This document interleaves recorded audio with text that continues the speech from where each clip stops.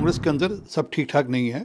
कांग्रेस में जिस प्रकार से एक परिवार सबको चलाना चाहता है और परिवार ही तय करता है, उससे पार्टी के जो ज़मीनी नेता वो तंग हैं। जिन लोगों को लेकर वह खुद भ्रष्टाचार के आरोप लगाते थे, आज उन्हीं लोगों के साथ समझौता कर कर चुनाव लड़ें, ये कैसे पॉसिबल है?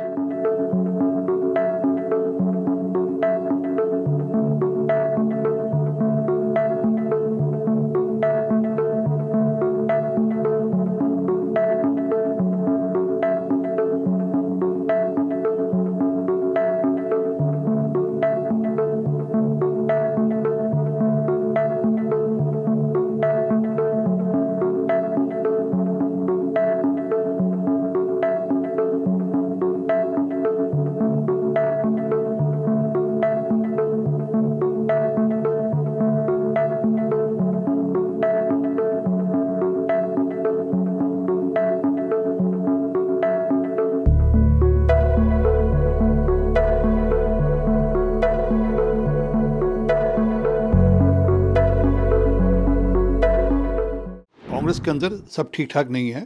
कांग्रेस में जिस प्रकार से एक परिवार सबको चलाना चाहता है और परिवार ही तय करता है उससे पार्टी के जो ज़मीनी नेता वो तंग हैं।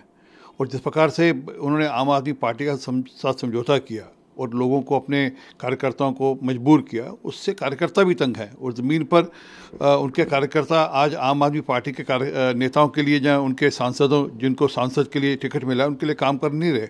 कोई देखता है उनको कि कल तक जिन लोगों को लेकर वह खुद भ्रष्टाचार के आरोप लगाते थे, आज उन्हीं लोगों के साथ समझौता कर कर चुनाव लड़ें ये कैसे पॉसिबल है?